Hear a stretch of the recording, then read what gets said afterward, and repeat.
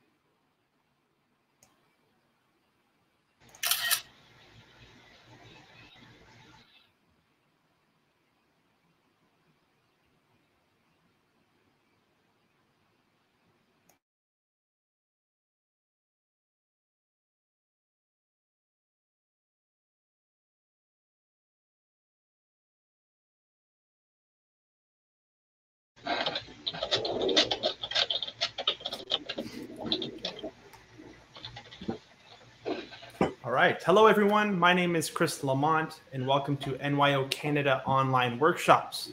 Our YouTube live chat is open, and we will be fielding questions throughout the workshop. So please feel free to post any comments, uh, questions, and of course, chat amongst each other. Today's presenter is a renowned artist manager representing the likes of Philip Chiu, the Gryphon Trio, and Jonathan Crow, who we luckily have with us today.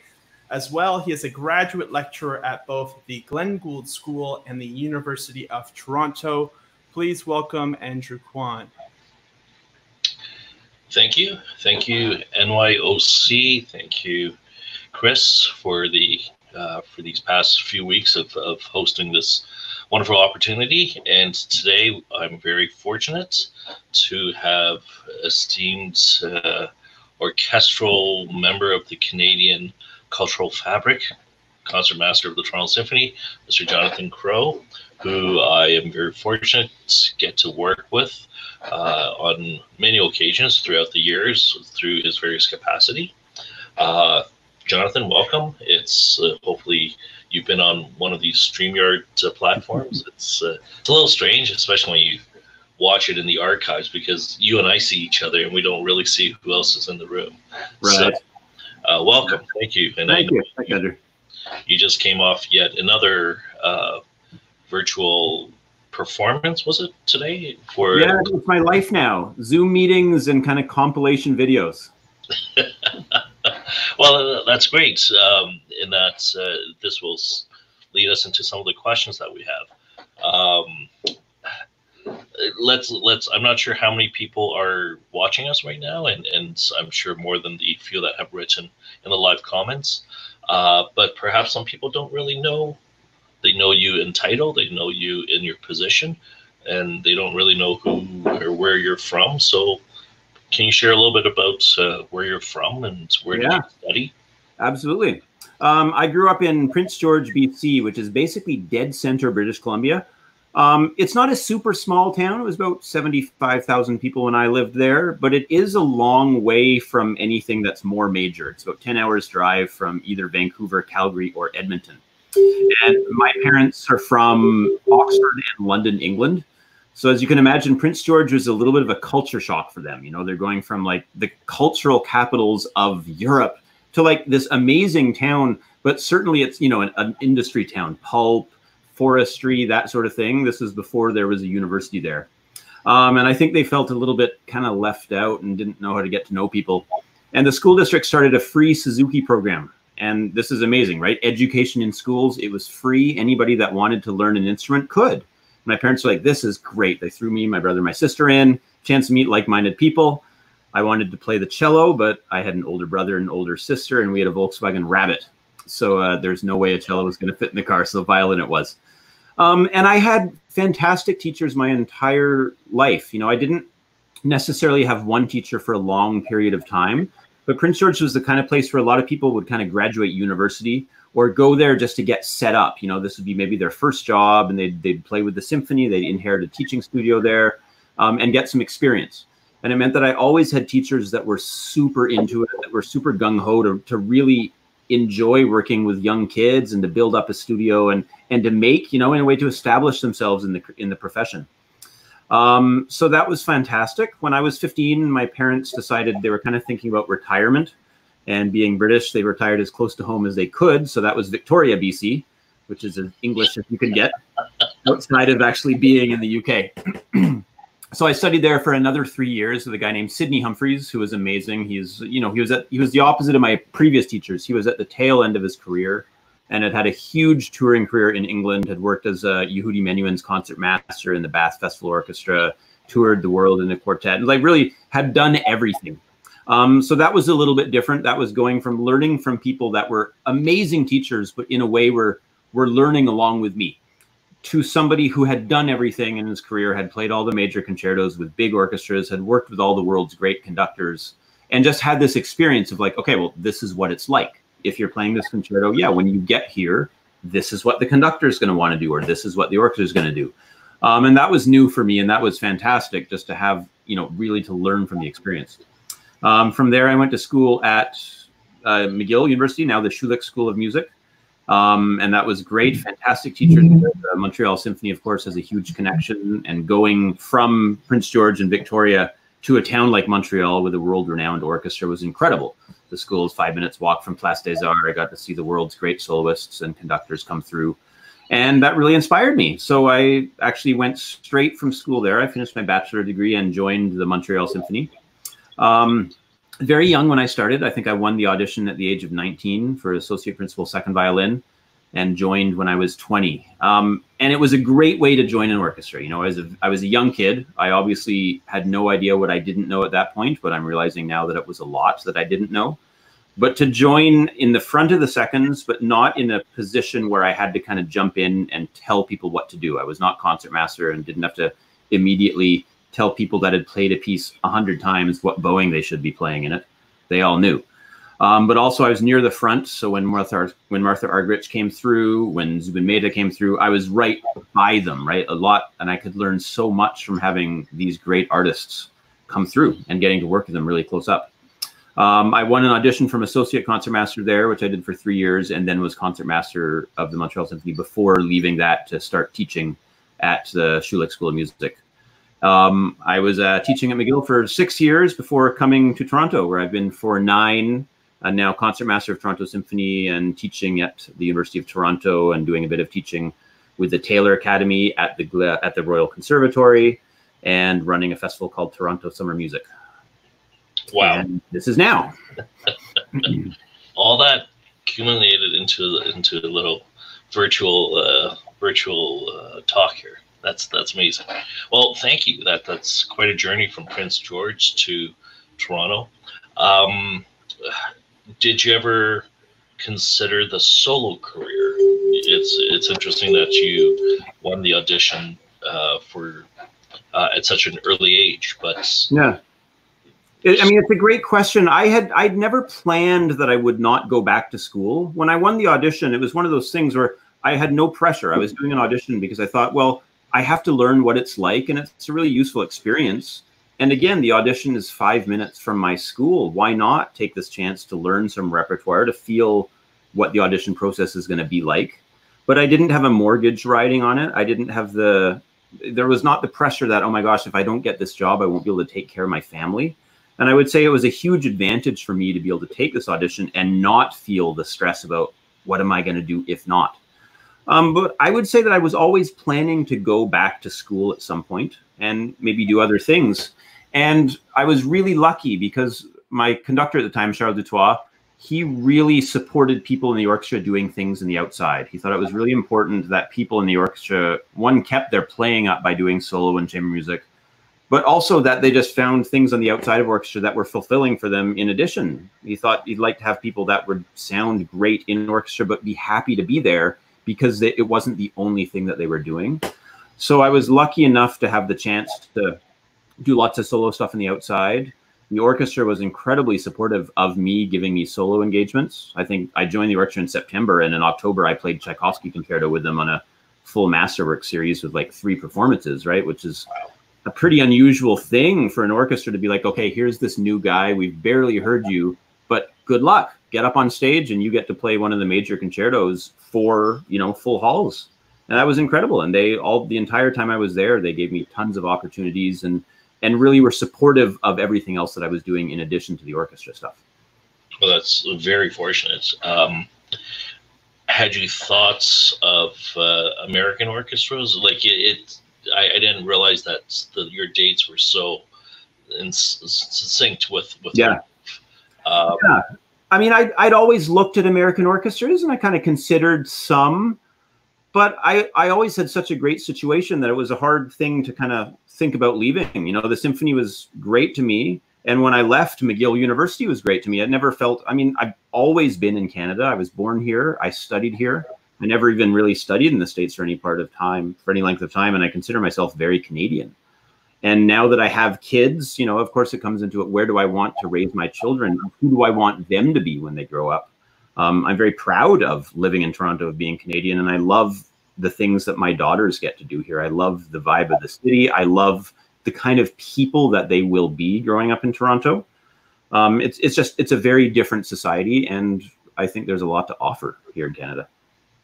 Absolutely, I often people ask uh, with my career, with my choices of artists, why do I not expand and sign on European artists and, and American artists? And this is the country that gave me the opportunities I've had, yeah. education, business, uh, you know, funding support why would I not focus on that aspect? And, and yeah, absolutely. Um, you you sort of brought up uh, an interesting point that's in in our script is a little bit later. Uh, you, you said Montreal Symphony offered you opportunities to to pursue other activities and, and other artistic ventures. Um, there's a bit of an age difference between the two of us. I definitely remember orchestras who were very uh, possessive about their players and yeah. basically the ability to uh, I realize the role of concertmaster offers you more flexibility, not more flexibility, but more opportunities to do um, do activities throughout the year uh, because of your responsibility, artistic responsibility. But how important is that? And, and I know having taught at the various institutions that I do teach at, often young emerging orchestral students, uh, primarily, you know, uh, the brass instruments, the woodwinds, where you know there's not a lot of uh, solo recitals for yeah. trombone. Um, they often feel these type of conversations are are it, it doesn't affect them. So, how important in your life in your career today, back when you first started, um, is was to to continue activities outside of the orchestra. And I think for me, it was always everything was always equal, and it is in a strange way, music and life are always equal. I never intended to go into music. I was never one of these kids that had this kind of epiphany at the age of 14, like this is what I want to do. So when I was going to school, I was actually doing music and mathematics because they're things that I both enjoyed doing. And it was only kind of later on that I realized wow, it would have been a really big choice to decide to not do music because I've been doing it since I was six. Um, so I don't want to say that I fell into it as a career, but it would have I would have had to make a really conscious decision to be like, I've been doing this since a six since I was a six year old, but now I'm going to choose to not do it and do something else permanently. And you know, I, I realized that it was just always part of me, and I was always going to be doing music in some fashion. And I think all the other stuff I was doing was a little bit the same. You know, I loved playing chamber music when I was a kid. I had a fantastic quartet with my older sister, who's six years older, and uh, two musicians named Carl and Joel Stobie, who are both quite active in the world these days. And you know, they were both older. Carl was six years older than me, and of course, was like kicking my ass at everything. He was like amazing at the violin, and I wanted to do everything that he was doing. And it was so inspiring, right, to go and play in a quartet with, you know, this guy who's playing, you know, Glazunov concerto, and I was barely playing Bach double, and to have that inspiration and think, wow, if, if I keep working, I can play like him. Um, but also just the communal aspect of of doing chamber music, of getting to do recitals, of you know even traveling, of going to kind of local places around Prince George, do a little recital. This was stuff that I had always done my entire life. Hmm. Um, and it's true, there's more opportunities as a violinist to do chamber music, to do uh, quartets and recitals than there is for any really any other orchestra instrument. Um, there's just more repertoire for us. Um, I would say the trade-off in an orchestra is that if you're a violinist, you're playing in almost every single piece that's ever written. You know, there's about five times in 20 years I've been off a piece in orchestra just because there's no violinists in it. Um, whereas a trombone player, there'll be entire weeks where you're like, good, they don't need me for this. Beethoven 2, I can go home and I can plan my other stuff around it. Um, logistics of scheduling is is a very interesting concept, right? Because I've been lucky enough to play in orchestras that really believe in what I'm doing on the outside and and support me in that. But there's also the logistics of them being like, but we have a week where you have to be there, or perhaps we have a week that we don't know what we're doing yet, so we need you to hold that week for us, and you can't book other things. Um, so I would say it's a real kind of like jigsaw puzzle, fitting it all together, finding out, okay, what's the orchestra schedule going to be like? How am I going to fit in my other things? What series are booking that can wait for my schedule so that I can commit to them? Because I have had a few times where I've agreed to concerts on the outside, but then the orchestra has come back and said, sorry, we're doing Scheherazade that week now, and you have to be there. No discussion about it, which is totally understandable because at the end of the day, my job is to to do all the big solos for the major rep and an orchestra and this sort of thing. But it does mean that there's this kind of like kind of this game of trying to fit things in and making sure that the scheduling works out, and that can be complicated. And I think for sure a lot of people get frustrated by that um, because it's hard to schedule and you don't always have control over exactly what you're doing. Uh, would that hold true for someone in in the second section, third row? I think every orchestra is different. I would say that as concertmaster, I have a little bit more um, upfront knowledge over what the major pieces that I have to be there are going to be. Um, but I probably have a little bit less flexibility in what I can miss. In that, if it is a major recording or a major week with the music director or a major Ein Heldenleben or something, it's not really an option for me to say, oh, can I have this week off to do something else? They'd kind of be like, well, no, of, of course you can't. You have to be there. Um, every orchestra is different, right? When you audition for some orchestras, they will tell you up front, this is your job. We don't do time off for other things. Chicago Symphony, for example, will say straight up to you, this is your job. This is not an orchestra where we have people that are doing all kinds of things on the outside. They feel pride in themselves as the Chicago Symphony, but in a way they require that everybody be there for basically everything. Um, you know, I would say the Canadian orchestras are more flexible in that way, partially because we just don't have 52 week seasons. You know, Toronto is a 43 week season, Montreal is 46. So that means there are there's more kind of flexible weeks in there where you just don't have any orchestra services that you can use for other things. But I, I think they also realize that it's a little bit of a different situation Chicago Symphony pays, you know, tons and tons of money. And in, in return for that, in a way, you're saying, yes, this is by far my most important job. And this is what I'm really dedicating my life to. The Canadian orchestras obviously don't have the same funding models. The philanthropy is different here, and they don't have the same, you know, base salaries in US dollars. But I would say that they are more understanding, in my experience at least, of people that want to do that and also enjoy doing other things on the outside to keep to keep their minds going, to keep nimble, to keep great at chamber music, and to keep those skills up. How important do you feel? Um, and, and Noah popped up a question, which I'll, I'll we will definitely talk about. Um, but how important do you feel as a concertmaster, as sort of the, the the liaison between music director and your and your band? Uh, do you feel it is for your members to to do chamber activities, to to be involved in other type of artistic uh, ventures outside of the uh, orchestral world. Yeah, I think it's deeply important, and I think an orchestra that's full of people that are fulfilled and happy is going to sound better than one where you're taking away opportunities from people. At the end of the day, an orchestra that has its finest players there will also sound great, right? So there's a balance, and it's every music director has their own way of finding a balance about having you know the the regular members of the orchestra there for really important things, but also giving flexibility for them to do other stuff. I know Peter Oundjian, my former music director, was always incredibly supportive of of principal players and regular members of the orchestra doing things on the outside that would make them better human beings, make them better musicians, make them happier in their careers. So he was actually incredibly generous to many members of the orchestra, even for major tours or recordings if they had something else that was really fulfilling to them, he would let them go do it because he at the end of the day wanted people on stage that really wanted to be there and were coming back in a great frame of mind. Uh, let's uh, answer Noah's question, and and ironically, uh, I think both of us can answer this. yeah, exactly.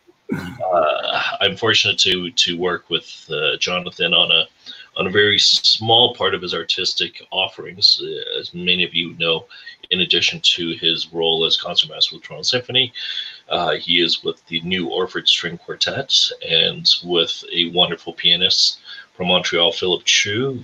We have the Crow Chiu duo. Um, how often have you had to turn down recital opportunities?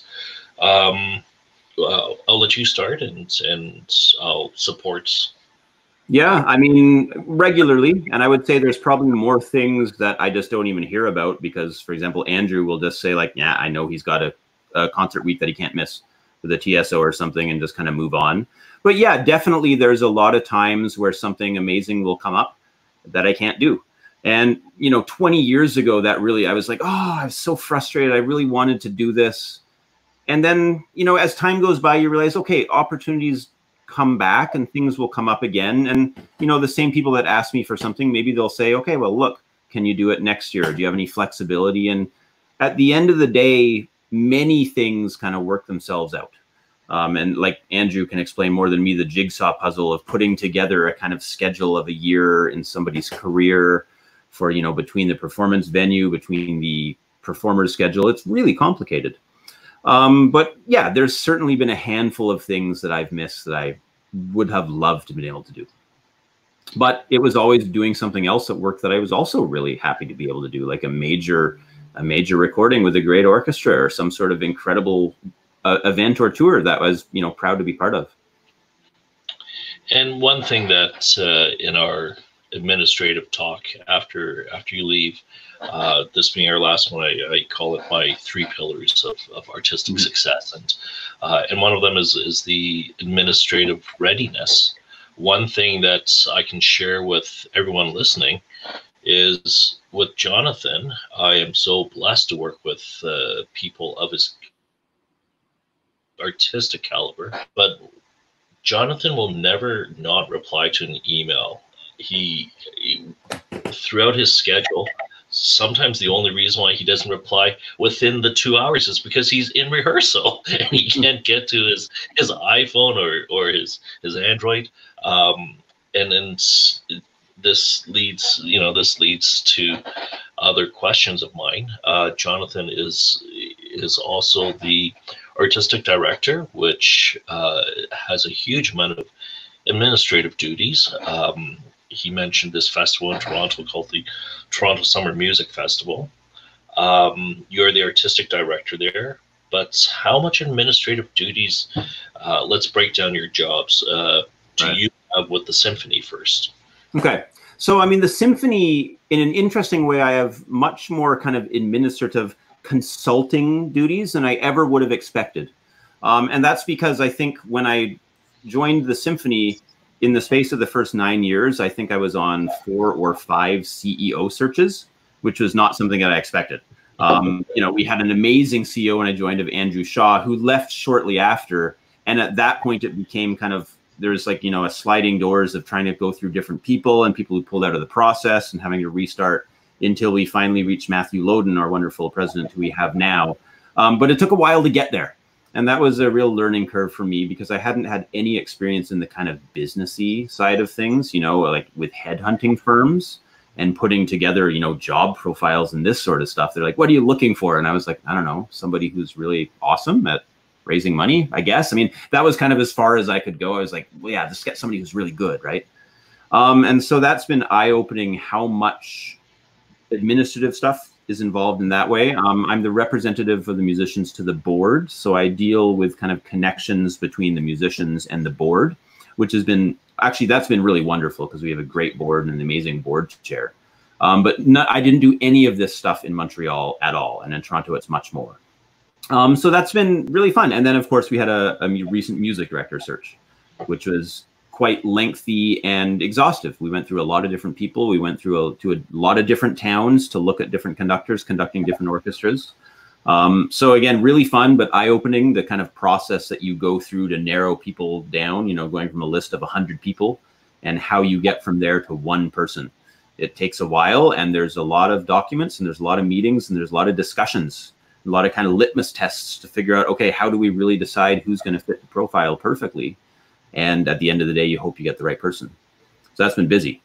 Um, Toronto Summer Music. So we have an amazing admin team there. So I don't deal with basically anything logistically, which is incredible. So I'm never dealing with venues. I'm never dealing with contracts. I'm never dealing with actually working out, you know, how do we get in the venue? What time can we get there? What time is rehearsal going to end? Um, and I don't have to deal very much with scheduling because we have an amazing artistic coordinator who's like can schedule anything and is never makes mistakes. She's great. Um, I deal 100% with the artistic stuff, with booking age, uh, booking artists, with booking repertoire, um, putting together the theme and kind of the overarching how the repertoire fits in with the theme. Dealing with agents to see what their artists might want to play, to see whether that fits in with our theme. You know, um, dealing with replacement artists if somebody has to cancel through illness or that sort of thing. Um, and I would say I could never have done any of this even 10 years ago because much of what I do, I can get done on a four hour plane flight. You know, if I'm on a, a, plane flight from Toronto to Vancouver and I've got my computer, I can get hundreds of emails done and contact lots of people and deal with lots and lots of stuff. Um, and then as I land, it all comes back to my phone and I can, I can take care of a lot of things when I'm offline, which is incredible. Back in the day when it was nine to five, having to call people, I don't think I could have done the things that I do right now just because I would be in a rehearsal. I can't take a phone call. And it's often I wouldn't have time to kind of like phone somebody back at break. There's just not enough hours in the day unless you can use all that extra time. Um, going back to the the Toronto Symphony position of, of administrative duty, uh, earlier in our guest, we had uh, a staff member of the TSO, Allison mm-hmm. Benz. Um, Allison is is associate personnel manager. Okay. Yeah. Uh, and she often she talked about various committees that that uh, that exist within the Toronto Symphony. And last week we had uh, Andrea Davidson, who mm-hmm. been in three different type of size orchestras, and and, right. and obviously everything is size dependent. Um, uh, Regina Symphony would not have as many committees as Toronto Symphony simply because of budget and size. Um, what are some of those administrative duties? What are some of those responsibilities? I think often students, and you would know this better than myself, I was not a, a orchestral instrument background. Um, most kids probably think as long as I practice my excerpts and practice the or- orchestra pieces, I land a job and that's all I need to do. And right. clearly, both you and I smile at these statements. Yeah. Can you share a day in a life in that sense? Yeah, for sure. And I would say, like, you know, things, even since I, I won my first job about 20 years ago, um, almost 25 years ago, I would say, even since then, things have changed dramatically. When I auditioned for the associate principal second violin at OSM, I think there was 16 people who applied. Um, and now there would be 70 people who would show up for something like this. And in the States, for an equivalent position, there'd be 200 or 300. Um, and it's just insane. And of those 200, 100 are going to play really well, and 50 are going to be spectacular, and 25 are going to have great days, and one person is going to get the job. So, without wanting to be depressing about it, it's very hard to win one of these jobs. But at the same time, I would say that there's a lot of other things going on now that we never even thought about you know music therapy and you know music and digital stuff that we're all doing right now and so you have to be kind of good at more things i would say now and you know we're as we go through contractual agreements and stuff with the the tso and we, as we look at what's happening in the states we're always looking as musicians to see okay is our audition process great is it the best thing is it the best thing to hire somebody blindly behind a screen who might play amazingly well, but if they're talking to a donor, it's not going to work out. Or if they need to go and talk to a board member or to an audience member, they can't make that connection.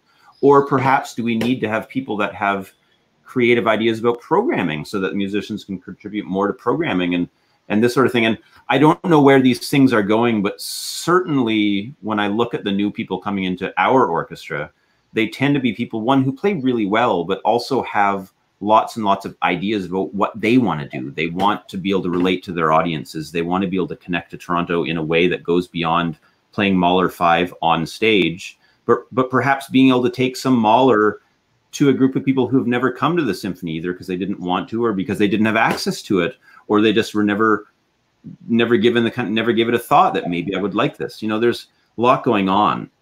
Um, and so right now there's a lot of different stuff going on at the TSO, and I'm a member of some of these committees. There's an orchestra committee, and that one deals mainly with logistics of rehearsals, of making sure that everything is run according to the agreements, and and dealing with right now they're in negotiations because we're we're at the end of our contractual agreement right now and looking for a new one for September. Um, more kind of like artistically, there's an artistic advisory committee which I'm part of, and this is a huge thing because now we are looking at normally we look at the season and we think okay what do the musicians want to do what do we have to comment about the conductors that we're getting? What do we think about the programs and how they're spaced? And and really looking at the kind of artistic stuff of day-to-day orchestra life. Um, right now this has dramatically changed because we're all kind of trying to think well what can an orchestra do for the next couple years? In september can we do orchestra concerts at roy Thomson hall? Are we going to be able to allow to have at least you know 1500 people or so at roy Thomson hall? Because that's what it, what we kind of need to have to for it to make sense to do concerts. Or do we need to look at vastly different ways of reaching people? Do we need to look at smaller concerts? We need to look at chamber music. Do we need to look at online educational activities? Right? So this has taken a lot of time recently and will continue to take a lot of time for the next year and a half i would say at least until things go back to normal or there's a vaccine or or the virus dies out. Um, we have an education committee that deals with okay how how can we as orchestra musicians reach out not just to young musicians that are playing the violin or the flute or but basically to every kid in school and how can we kind of find things that are meaningful for them? You know tso just put up a new series of education videos and it has orchestra musicians teaching you how to make an instrument and then playing that with their kids and stuff which is super fun right? And it's finding ways to go beyond like practicing the flute or practicing the violin but how can we interact with people in a way that inspires them to love what we do to show them that we love what we do? And how do we reach people that maybe have no concept even what a beethoven or a mahler symphony is? And that can be that can be difficult because it's definitely not something that i ever learned at school. And i would say education is getting much better at this. And andrew and you're part of it you have courses where you talk about the career but going through my schooling, I had very little that wasn't just like, here's your orchestra, here's your theory, here's your arts and science elective. Okay, now go into the world and good luck. Right? So it's, you know, education of is definitely changing, but I would say that a musician these days needs to be more than just really good at playing Tchaikovsky concerto. Um, a musician needs to be more creative. They need to be more thoughtful. They need to be more understanding of the business side of things. They need to be more understanding of the the human side of things because at the end of the day, we're all dealing with people. And Allison, who was here, I guess you said last week, you know, she's in personnel, which means that she has to deal with people on a regular basis, not just faceless people, but actual human beings who might come in and need some help about something that has very little to do with actually playing the violin, but has to do with interactions with other people and this sort of thing. And and it's interesting you say that because Allison is one of those whose uh, academic uh, pursuits included being with one of the guru teachers of the timpani, Tom yeah. Freer in, in Cleveland, and and here you are mentioning, you know, and, and Allison also talked about this the, the switch over to administrative life, um, and I am going to ask sort of a, a, a wrap up question. Uh, thank you for for spending all this time. What advice would you give orchestral players? And, and before you answer that, I um, I'm, I'm very grateful that you mentioned how it's more than just playing the Tchaikovsky D major or or, or the Tchaikovsky Rococo or or uh, or the Mozart flute concerto. It's it's the career today, and and I'm not sure. If, I think his name was Mateen uh, last week, uh, just as we were wrapping up, popped a question that I wanted to ask, which was uh, what what are the main obstacles in the path of a classical musician's pursuit towards financial stability? Mm. You know, you dropped, literally dropped that as we were wrapping up, and I said, please save it for. Uh, I'll I'll answer that today, and wow. hopefully one of the main messages uh, that uh, that the students today have heard from both you and my past guests is the importance of diversity. Yeah. importance of of diversity of knowledge, diversity of, of skill sets, diversity of interest, and how definitely I've, I've been around Toronto eh, not actively with the symphony, but in in in knowledge of the culture of the symphony, and have seen that switch over where uh, there was a time when when players were very possess- the, the institution was very possessive about their players, unless you got a solo with you know Chicago or New York Phil, right. you're not allowed out of your contracts, and we're not going to tell you, you know, until August fifteenth what your next year's schedule, you know, which yeah. we, you know, and and we see how the culture of the organization has changed and the involvement factor. And you know corporate america corporate canada has talked about buy you know staff buy-in you know staff employee shareholders uh, dividends yeah. and things like that. And we're finally moving that culture into the cultural arena. So what advice can you give to all these young aspiring musicians of the nyo uh, it's a great question. You know i I would say don't think that anybody owes you anything. And this comes kind of from my experience in an orchestra where I would say there's there's a little bit of a problem that too many people think that because we play great amazing music that society owes us and that we need to be able to keep doing that because we play great amazing music. Now, I think it's kind of a given that Beethoven, Mahler, Mozart, Brahms that this is wonderful music and that it's worthy of something. But at the end of the day, an orchestra is is partially an artistic organization and it's partially partially a philanthropic organization. We can't exist without one really generous donors and without government supporting us. So we can't go to those donors and say, okay, here's what we're going to do. We're going to play Beethoven symphonies, and it's going to be for an audience which is quite wealthy that can afford to pay for tickets, but they can't, they won't pay enough to actually fund the orchestra. So can you please give us a whole bunch more money so we can keep doing it. At the end of the day, if we don't contribute to society in a way that reaches all of society more than a very, very privileged segment of society, why are we why should we expect governments or donors to help us out? They don't owe us anything. We love what we do, and our job is to be able to convince as many people as possible the value of it and how much we love it. If you can reach anybody with Beethoven, they just generally tend to love it. But if you don't make the effort to go to them and to try to make your music relevant to them, they're never going to kind of just come to us. So don't expect that anybody owes you a living playing music. Instead, fi instead find a way that your music is of such value to the community and to society that people will support you with it. And it's, it's kind of a different way of looking at it. It's not because we play Beethoven, it's because we are so valued to society and to so many people that governments can't possibly cut it because they'd be like, no, you're doing something which is incredible and useful and not just kind of a kind of elitist small segment of the world. And it, it's so true, definitely in in a city like Toronto, and for those of us who are in this room, sure, we, we can't imagine what life would be like without Beethoven and Brahms and Mahler, but we are a very small percent. I, yeah. I personally use the term 11% uh, of people on the street care about classical music.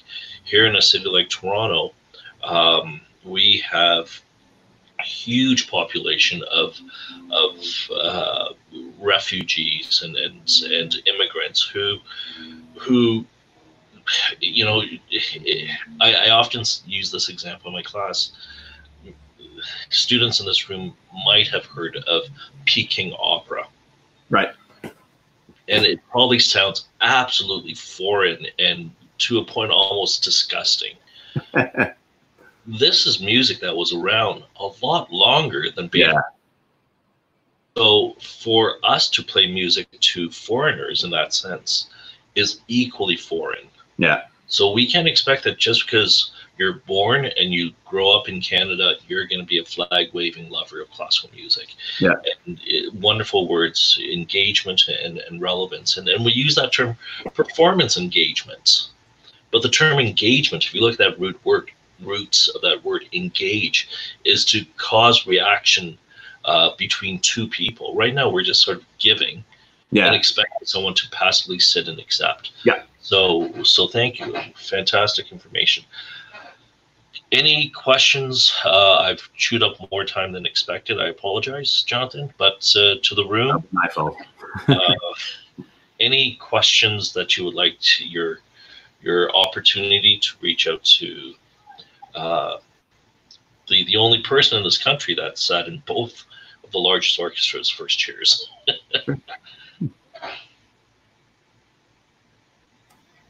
I covered everything. You have given them the key to orchestral success. okay. Going once, going twice. Anyone? Okay, well, thank you, Jonathan Crow, for sharing your wisdom, your experience, your insights. Uh, I hope that uh, those who are in the room listening uh, have a better understanding of the of the career and the activities. Um, I think so many, uh, because as you say, 25 years ago there might have been 15 people auditioning, and today that same position in a major orchestra would have 100, 150, 200. Uh, in answer to Mateen's question, the importance of diversity, and and I know for sure, um, in my experience with with dealing with you, uh, that we can talk everything from orchestral repertoire to vocal repertoire to court, obviously chamber uh, repertoire and and solo repertoire at that. And I continue to stress that working with you and, and Phil, um, for those listening, as a manager, as an agent, I need information and product. The name Jonathan Crow and Phil Chiu are well known to you in this room, but as far as ticket selling power, uh, it it's strong in some places and weaker in others, and so we need a program. And I know that with Jonathan and, and Phil, when I have to work with them, that normally within a day we design a program. And when I say something to the effect, guys, it's a little bit too heavy or a little bit too academic, you guys always come back and, and say, can we do this? Can we do that? And, and it's, um, it's, it's an absolute privilege to work with artists of your caliber who understand the marketplace um, and, and who work together in bringing in.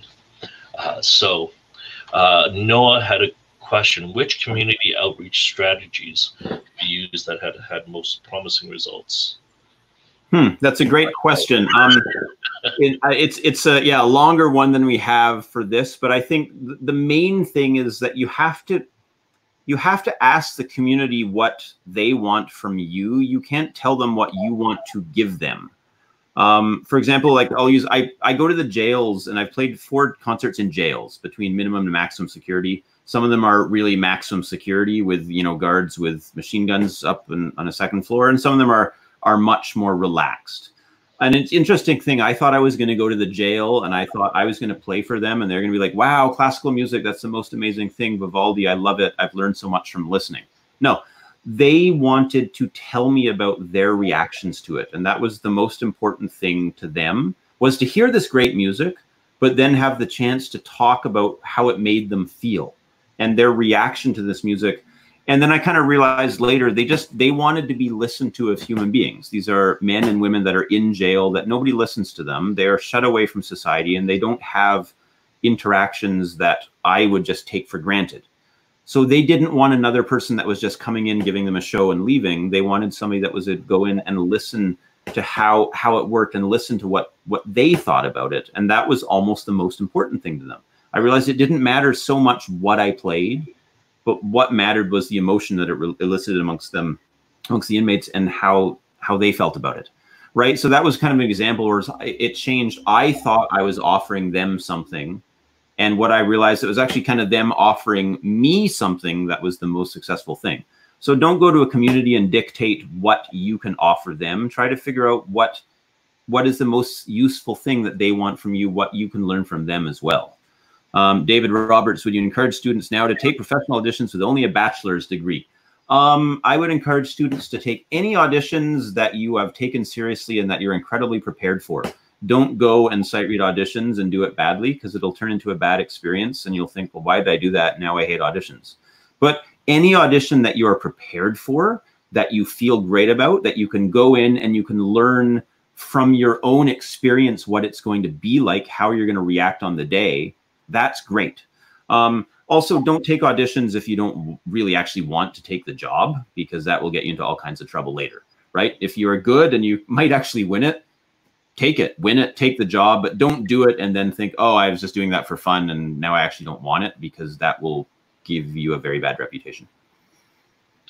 And and David, I'm not sure if you were uh, online when Allison mentioned that she belongs to an association of, of orchestral personnel managers uh, throughout North America, and they have e-threads and conversation groups. So uh, it again, it's a very small world that uh, good news travels slowly, bad news travels very quickly, and uh, and you definitely don't want to be known as that kid who's just taking auditions for the fun of it, because yeah. as Jonathan said, he has to sit on various committees. I'm sure you had a violin posting that you obviously had to sit on, and and you've had X number of auditions over the over the past nine years, and this is time away from your family yeah. time and et cetera, et cetera. So, um, and thank you about talking about that engagement uh, at at the uh, at the prisons. I, I know that's it was quite the initiative of Toronto Symphony, and and it's been extremely uh, fulfilling. Uh, I'm glad to hear that, and and use the term engagement again, right? Like, yeah, in our day to day life, you buy something on Amazon, you're inundated with what your opinion is of both the process of buying and yeah. when you finally receive it. And here we are in 2020 going to a, a concert format structure that has not changed since the day that Razumovsky, you know, paid Beethoven to write those quartets. Um, it's still show up, sit down, be quiet, don't say a thing, listen, and get up and leave. Yeah. Society has changed. So, uh, again, thank you so much for your insight. Um, and with that, you can either stay on and listen to sort of the Andrew Kwan uh, pillars of artistic career or continue figuring out your other artistic duties. that might take a little bit too long. Great. Thank you, Andrew. Nice to talk to you. Okay, thank you so much. Okay, uh, thank you. Um, and and this is our last little talk uh, that wraps up our session. Um, I've been often asked. Um, uh, sorry about that, my office phone.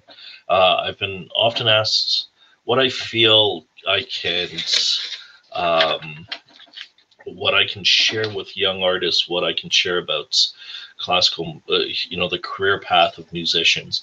I'm very fortunate that every day of my life for the past 29 years has been uh, dealing specifically with classical musicians. Many of those are your teachers and people like like Cameron Crozman, who not that much older than many of you, and and people as established as Jonathan, and definitely uh, the Gryphon Trio, et cetera, et cetera. Um, so hopefully, what I can share today will will help you guys maneuver. Again, there's no textbook in life. There's no uh, quick answer. Um, I'm glad it, it, was not part of the script with Jonathan, uh, but as he said, you know, I can answer and deal with so many questions or, or reply to email on a four hour flight. And in my class to kids, I always say, you know, surfing surfing Instagram or or looking for another silly video of a of a cat playing the piano is not going to develop your career. Uh, so Jonathan, as, as I say, is, is always amazing. Cameron is amazing. Um, I'm very fortunate to work with amazing people who are also administratively uh, respectful in the sense that they realize that is the machinery that allows you to perform. So, why isn't this? Where might classical music go from here? Um, this is sort of my wrap up conversation today, and and I I I'm glad that again Jonathan. I, I didn't think Jonathan was gonna uh, talk about that initiative of, of musicians playing in in the prisons. Um, we often need to ask this question. We often need to, you know, we seem to be the only industry of this financial magnitude that doesn't truly care. And I know I a lot of people will take offense to my statements here, but that that's okay. Uh, do we truly care who our audiences are? As as Jonathan sort of said, instead of what can me, the great musician, offer you, what would you like? You know, if we thought about uh, any other industry, you know, if if the auto industry didn't care that people were concerned about the cost of gasoline or that people were concerned about the environmental effects, we would all be driving, you know, huge cars. And there's obviously the question as to why, you know, a, a single person needs these huge SUVs today uh, or if or going back to the restaurant analogy, if a chef didn't care about the the the the customers coming into the restaurant and just cooked the way they wanted to cook, how successful would that restaurant be? Um, so, who are the existing audiences? Who are the untapped and potential audiences? I often use this, and, and many of you can probably agree and, and realize it. How many times have we seen the concert description?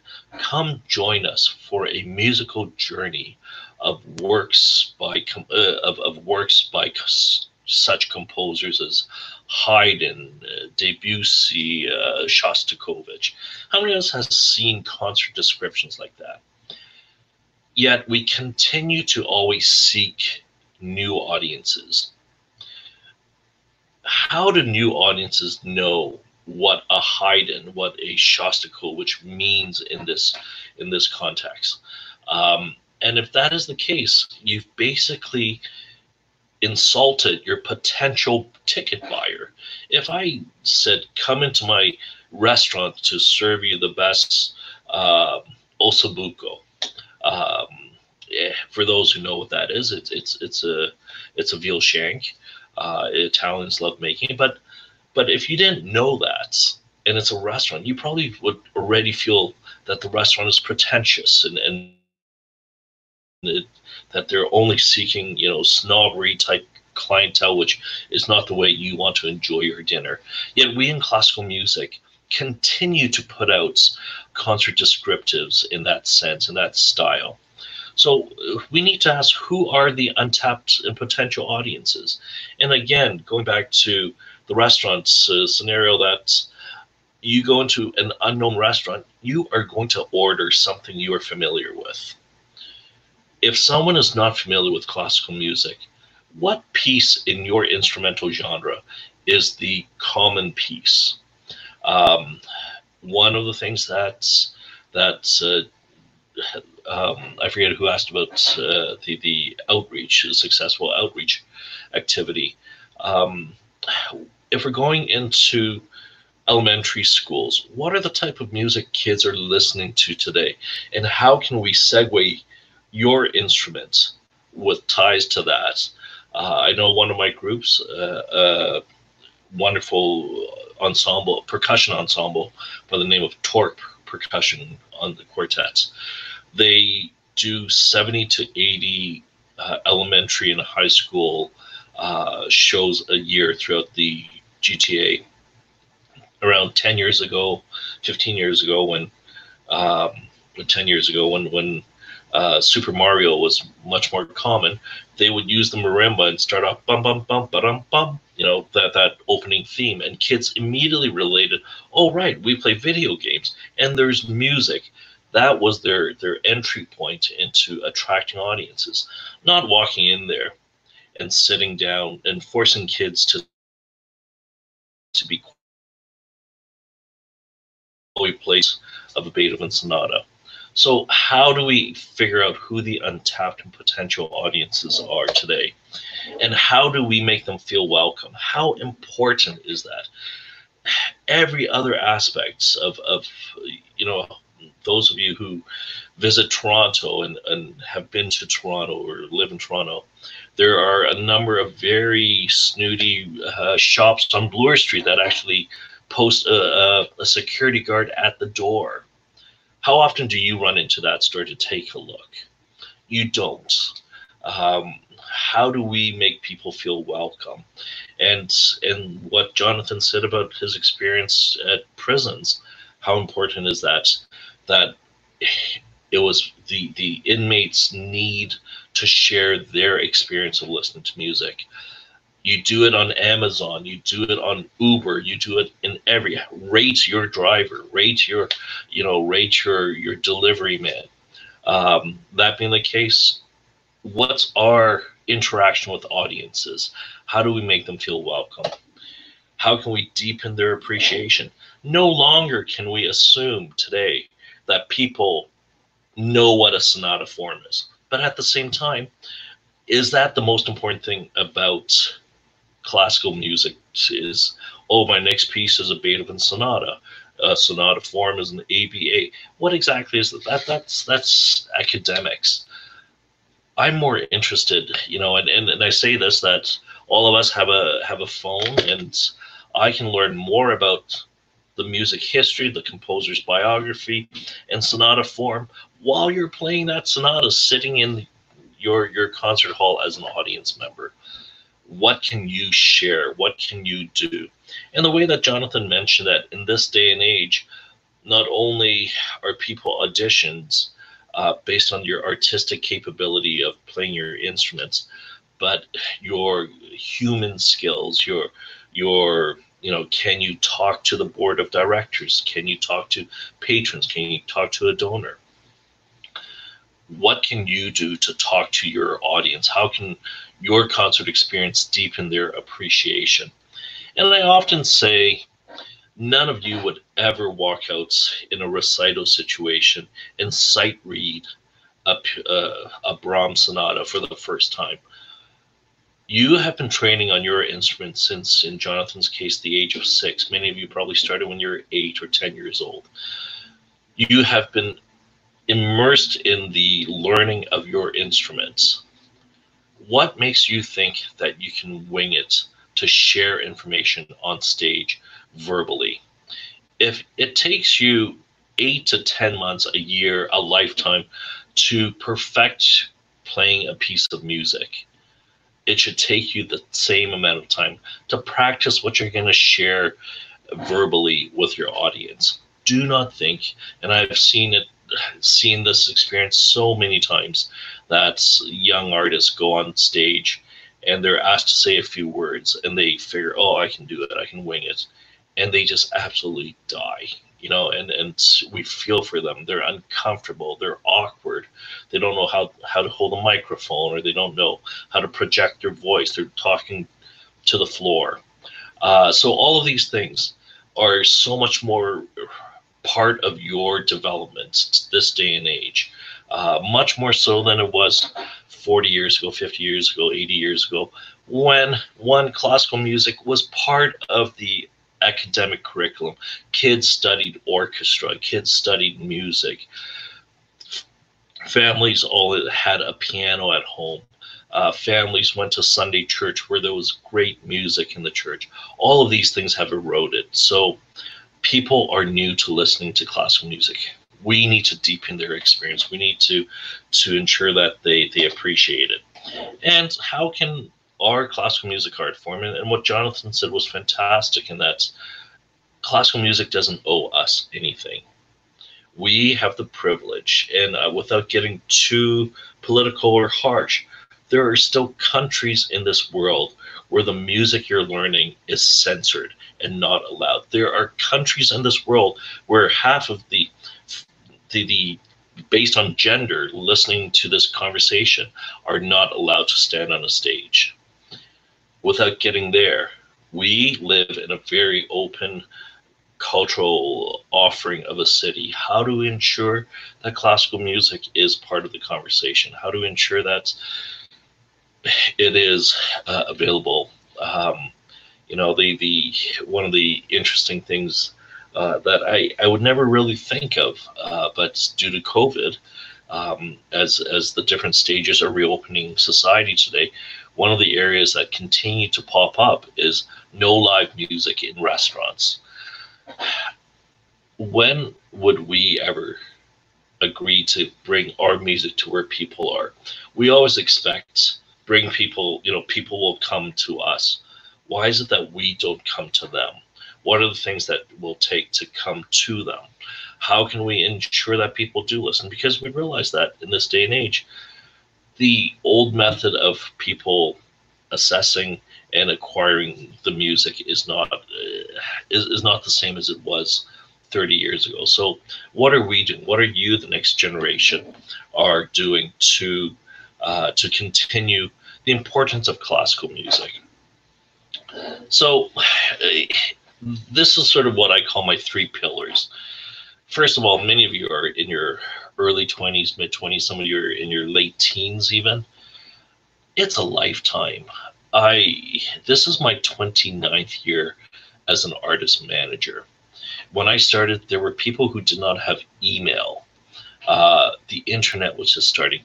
The world continued, but it's I still feel like I probably have another easily 30 years of doing what I do. It's a lifetime. I realize one of the things that's I often hear with young artists is, is always, um, you know, you talk to somebody else and they they feel like they're they're you think you feel that the other person is always so busy because they're stressed and they've got so much to do, and you're sort of sitting there thinking, you know, what am I missing? Don't don't need to compete. Everyone is on their own you know own course, own timeline.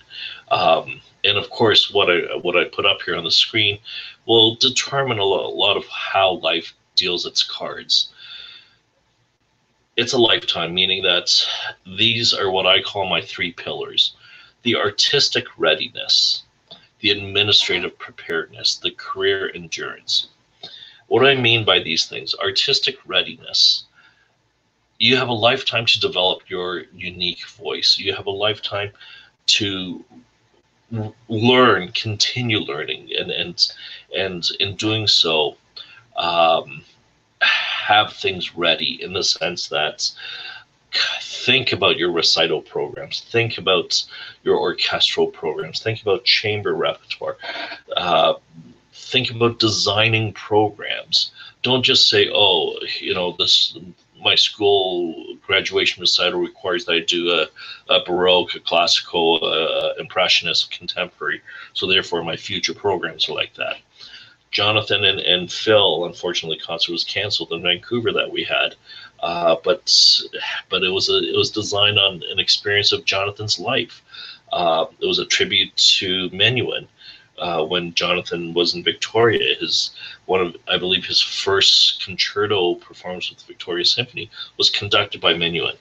Um, so we, we had this program and we did the research as to what were some of the famous pieces that became Menuhin's signature and you know it's it's, it's kind of nice but I, I think uh, whoever said people should know Jonathan Crow. But the reality is that people don't necessarily know Jonathan Crow. He has been very much Eastern Canada, Toronto, Montreal centric for a while. And though, yes, he's a BC boy, uh, a lot of people don't know him. And so, in addition to those who do already know him, we wanted to design a program that was inviting. People may not know Jonathan Crow, but you, you know, Menuhin, I do know that name. And then they look at the program. Oh, wow, those pieces. I know some of those pieces. Again, bringing more people. Uh, how do we engage more audiences? And this is a conversation that our industry desperately, desperately needs. And in this day and age of COVID 19 and the and the emergence of, of online uh, concert streaming, classical musicians have fallen so far behind. Um, and and in that many of us have never developed or cared to develop because administrative stuff was always someone else's job. It's someone else's job to find me an audience. It's someone else's job to keep track of who those audiences are. It's not my job. I am the artiste and all I need to do is practice. BS. Times have changed. Uh, an indie singer songwriter, an indie folk group, an indie band, they want to capture who bought a ticket. They want to know how those people will follow them on Instagram, on Facebook, on on whatever social media. Classical musicians don't care. They all they care about is, well, I want to play this piece of music. I don't care if you like it or not. I want to play it. How can this industry continue? And and that being the case, uh, moving on from artistic readiness, you guys please be curious about repertoire and, and that's what i was getting at with jonathan uh, about jonathan is that he doesn't just know about orchestral repertoire and violin concertos. He knows about what's interesting. You look at the past few years that he's been programming toronto summer music festival. And jonathan also has to know about jazz musicians and and, and world musicians uh, because we can no longer continue to just offer this one segment of culture. Um, we can't just say that the only thing people want is classical music. The only thing we want is classical music, but we are a very small percentage. And even within the scope of classical musicians or people who love classical music, that segment breakdown is huge. There are people who who can who love classical music. Sorry, sorry uh, people who love classical music, but are die-hard opera fans, and they would not know a, a violin recital happening in their town if it bit them in the butts. You cannot say those people are not classical music lovers. There are people who go to the symphony who don't know the first thing about a piano recital series in their town. There are chamber music subscribers who have never well, I shouldn't say never, but who who seldom would go to a symphony concerts. So even within art, and then there's the early music versus the new music segments. So we live in a very, very uh, compartmentalized within the definition of classical music. We need to, you need to figure out all the different angles in order to develop your programs, develop your product, develop your artistic product in a more interesting way as we continue to move forward in the in, in this in this uh, career path. Secondly, the administrative preparedness. Sorry, I'm here. There is nothing that can happen in my office that you guys are not capable of doing. Two weeks ago, we talked about writing a biography. Write your biography have have a friend read it. Have all of these things available. Uh, definitely it's my business to have all of these things and two three times a year it's still an exhausting exercise. We read the artist's biography. We we have copywriters that that we engage or or there are times when we just update them ourselves. We keep things fresh. All of you should have your biography ready all of you should have your publicity shots ready. Last week we talked about, and I apologize, I haven't put up those slides, that electronic press kits. Take this COVID period where we're physically not, you know, you guys aren't stuck in in one of the uh, dormitories uh, in at uh, Laurier, uh, and take the time to to deal with these things have it ready. And when the opportunities are there, you have that electronic press kit ready this is the time which develop the list of people you have met. Develop the list of people who have hired you. When was the last time you got in contact with someone who actually wrote a check and hired you for a recital for a, a chamber concert? You know there it's my job as a manager agent to be in contact with these people. Even during this covid period i have probably been on the phone uh, pretty much the same as before this period. Not because I'm selling to these concert presenters, uh, because I'm just staying in touch with them and seeing how they're handling their subscriptions, how they're handling, you know, just to make human contact. Um, how many of you get Amazon sending you, oh, the thing in your basket has has dropped in price or is soon to run out. Industry has done that for us. Why don't we do that? Why don't you do that for the career that you want to pursue? Um, what are some of the other things?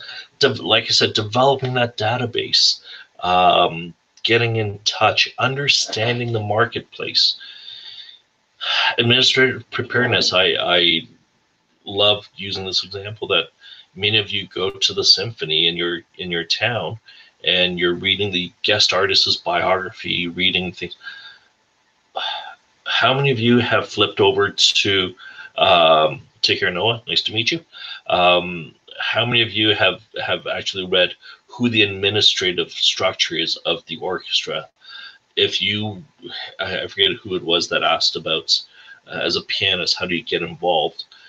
Do you know those these people and and these are part of the administrative preparedness as a young artist be curious as to how that concert series runs Koerner hall just announced their series who makes the artistic decision who makes the artistic decision at at the Ottawa Chamber Music Festival or the Ritornello Festival, etc., etc. Um, sorry. Um, who who so when you go to a concert, open up that that program and look for that page. Uh, who are the board members, et cetera, et cetera. And last but not least, career endurance. What can I share about that? Um, the longer you stick in it, the more people will get to know you.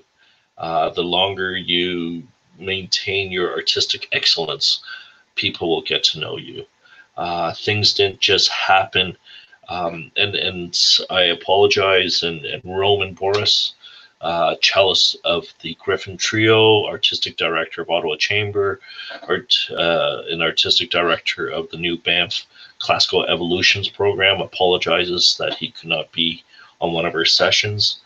But I remind John, uh, I remind people that uh, Roman and the Gryphon Trio, when they first started 26 years ago, uh, uh, ran their own concert series because no one wanted to hire them. No one cared for piano trio. For every one piano trio, there's seven string quartets that get presented. Um, and back in those days, the joke was there was one piano trio in the world, the Beaux-Arts trio, and then everybody else. Uh, so that being the case, Roman said, "Hell with that. I'm. We are good. We are emerging. No one wants to hire us. We will make people notice." And he risked and and rented concert halls and put on the Gryphon Trio themselves. He would go into town beforehand. He, in Toronto, they had a three concert series at the Glenn Gould Studio. He would run around the universities and and the grocery stores putting up posters. Yeah, you know the Gryphon Trio um, are not the Gryphon Trio because they woke up and they played well. There are years of doing it and those career endurance tips that I can share with you time management, leadership management, uh, stress management, uh, issue resolutions. All of these things sound a little bit corporate, I'm sure, but you have to do it. You know, sh- I'm sure that Jonathan would rather sit on the airplane from Toronto to Vancouver catching up on Deadpool 2, but instead he whips out his laptop and he's answering emails so that as soon as the computer gets connection again, and he talks about um, how things possibly could happen today that it couldn't happen 20 years ago. These days, we even pay to to be able to send emails on an airplane.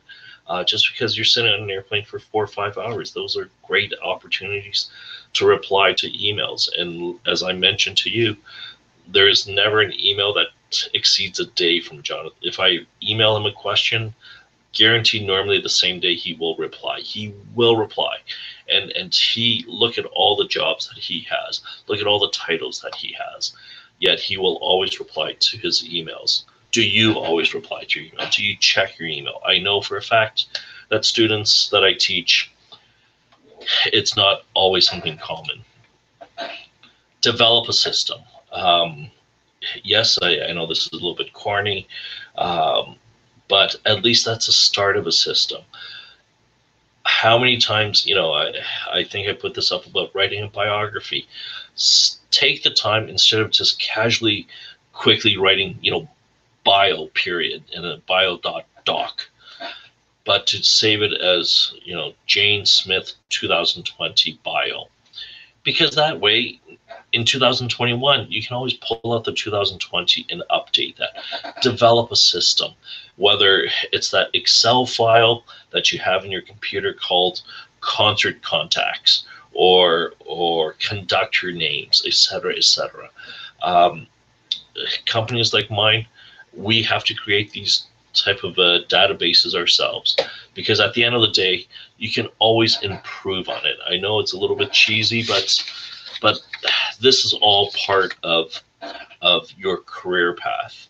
Um, think about i'm not sure why this slide should have been a little bit earlier my apology but as as far as the artistic readiness i'll put these up there. Um, joint performance new commission. In this day and age, uh, I think Mateen, as I mentioned, had the question. Um, what are the main obstacles in the path of classical musicians' pursuit towards financial stability? He asked this question last week. All of you have probably heard of, of uh, the Loblaws, the national grocer chain called the Real Canadian Superstore. Many of you probably have shopped in there. Well, if you think about the genesis of of of Loblaws, they were uh, well, actually, the Weston Company were a bunch of bakers, and and they from there realized that okay, we can bake, make a product, and hope that someone will buy it from us, or we can develop the sales vehicle to sell it, called a grocery store. That was 70 years ago, 80 years ago, whatever it was. Today, you walk into your Shoppers Drug Mart, which is owned by Loblaws Company, or you go into Loblaws or or or Real Canadian Superstore, and you buy some Joe Fresh. You you can do your banking there. You can pick up your medicine there. You can pick up wine and beer there, uh, and pick up your bread and butter. So hopefully, in answer to Mateen's question, financial stability society requires that we multi-revenue stream. Think about the music teacher, the, the studio teacher you are studying with. If you're at U of T studying with Jonathan, he's concertmaster of the Toronto Symphony. He's artistic director of of the the Toronto Summer Music Festival. He's a member of the New Orford String Quartet. Uh, he gets recitals and concertos through my office, and he's teaching you. That's five paychecks that I count. That is the reality. Obviously, one has to then internalize it and, and ask the question, what is enough? You know, living in a city like Toronto is, is very expensive. And, and if you want a bit of a balance where you can go out to eat, you might have to do a few more jobs. Um, living in Vancouver, uh, living in Toronto, I think Toronto recently I read somewhere that your basic one bedroom apartment is twenty one hundred dollars a month. So if if twenty four twenty uh, uh, twenty five thousand dollars of your paycheck has to go into living, you need a few other jobs in order to have a bit of a life. So. I guess an answer to Mateen's is, is the ability, and going back to my my little three ring, uh, career endurance, time management. How important is that? Yes, we can all fall victim to letting your Netflix pop to the next episode and the next episode, but sometimes we have to get off our asses and get to work. Um, I've been criticized as an, you know, that that as an instructor, as a lecturer, that I'm a dream crusher. Uh, that I, I'm such a pessimistic person that uh, um, that that's it's you know that it's not encouraging but my position is i'm not a dream crusher i just have to wake up and do it. So that's that's perhaps something i can share with you guys. Um, at the end remember evaluate yourself. Constantly keep that in mind. Evaluate yourself and and see where your strengths and your weaknesses are uh, yes, we are all facing challenges today, uh, but this threat and challenges Um, right now, we're all equally behind the eight ball, so to speak. That that we don't know when the halls are reopening. We don't know any of these things, but take this opportunity to learn about the technical aspects of our industry. Why I say that classical musicians have fallen so far behind is that in this COVID period, unlike a singer songwriter who can put themselves up and do a online uh, video uh, online concert uh, through side door through music live or any of these platforms available to monetize a show we have no audience information. How many of you have a database of people who have followed you? Granted you're at, at a very early point in your career so i'm not expecting that all of you guys have 10 15000 people following you but one of the things I loved about Joyce DiDonato, beautiful singer and very savvy, during intermission of her concerts, she will shoot out performing at the Musikverein or the Staatsopera in one of the most gorgeous halls, you know, and, and shoot that out there. She's generating, she's taking that time to use the social media platforms, uh, understanding the threats and challenges classical music is not the only art form out there.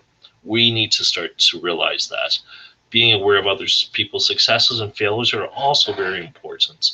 Uh, we often think that I play classical music and therefore, as Jonathan says, it owes me. No, that that is not the case for any business. You may be the best chef in the world. No one's coming to your restaurant. You may be the best dentist in the world. And I love using this example as a dentist dent, you know, we always feel, oh, I've spent 10 years or 15 years, I've paid hundreds of thousands in, in, in going to, to Juilliard or to Curtis or wherever. And, and I've been, now I've got to pay for my instrument, blah, blah, blah, blah. A dentist, equally, if you go to Boston University and come home to, to Canada, you probably have a debt of around $200,000 from studying to be a dentist. And then to open a dental office, it will cost you anywhere from half a million to a million dollars, depending on the number of chairs you have. No one owes that dentist anything. Why do we feel that we play music, therefore they owe us? We need to look at these type of successes and failures. Look at other industries, see community outreach, community engagements. Yes, you know the even how many of you have regular cable? There was a time you pay for an ad during a TV show. While all of you guys are watching uh, subscription, you know, Netflix, Crave, HBO, whatever it might be. There's no more commercials in your shows. The industry is changing. How are we messaging classical music? et cetera, et cetera. If our audiences are this more older audiences of society, they're not on Facebook, they're not on TikTok, they're not on on on Instagram. Well, if you want them to come to your concert, then you better make sure you continue to do a little postcard so that they can stick it on their fridge door. What are our strategies? Reviewing our strategies, because at the end of the day, the purpose is to share the arts, and it is an amazing industry that I hope this awful virus will soon subside and we can get back out uh, to play because there is nothing more amazing. Even after 29 years, when I sit at the back of the hall and watch my artists and know that through my dealings and interactions help create that opportunity for my artists to perform and connect with audiences. It's one of the most wonderful experiences and wonderful feelings that I can have serving my community, serving my artists, serving the audience. So I'd like to wrap it up there. Thank you. I know I ramble a lot. There's so much to share.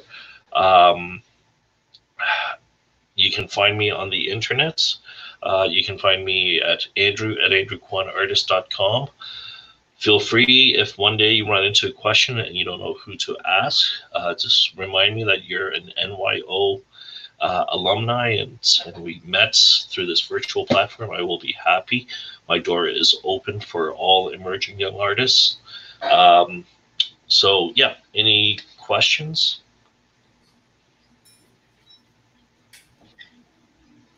thank you for those who who put comments. Installed this ring doorbell that keeps popping up on my screen and sounds like I'm in some you know German submarine. So, Chris, back to you. All right, Andrew. Well, thank you so much for joining us over these past four weeks um, and all the great guests that you brought along with you. Um, I think not only have we really learned some tangible tools, I think you gave us, especially today, all plenty of uh, food for thought. So thank you again for being here with us, Andrew. Thank you.